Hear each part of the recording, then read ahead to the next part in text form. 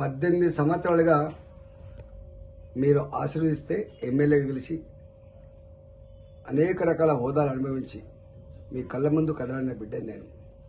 మీ కాళ్ళల్లో మెదిలిన బిడ్డను నేను.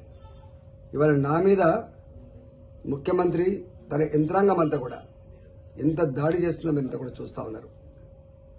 ఈ హుజరాబాద్ ప్రజానికానికి నేను విజ్ఞప్తి చేస్తున్నా సచ్చినా మీతోటి బతికినా మీతోటని అని చెప్పి మీ కుటుంబ సభ్యుల్లాగా నేను మెదిలిన నేను. ఇవాళ ఈ కష్టకాలంలో నన్ను చంపుకుంటారా సాదుకుంటారా అది మీ చేతుల్లో ఉంది. కేసీఆర్ అహంకారాన్ని బొందబెట్టి ధర్మాన్ని కాపాడని చెప్పి నేను కోరుకుంటున్నా.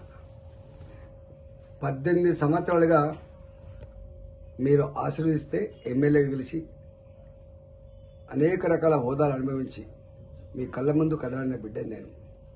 మీ కాళ్ళల్లో మెదిలిన బిడ్డను నేను.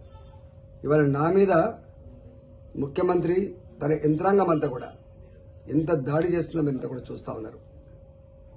ఈ హుజరాబాద్ ప్రజానికానికి నేను విజ్ఞప్తి చేస్తున్నా చచ్చినా మీతోటి బతికినా మీతోటి అని చెప్పి మీ కుటుంబ సభ్యుల్లాగా నేను మెదిలిన నేను. ఇవాళ ఈ కష్టకాలంలో నన్ను చంపుకుంటారా సాదుకుంటారా అది మీ చేతుల్లో ఉంది.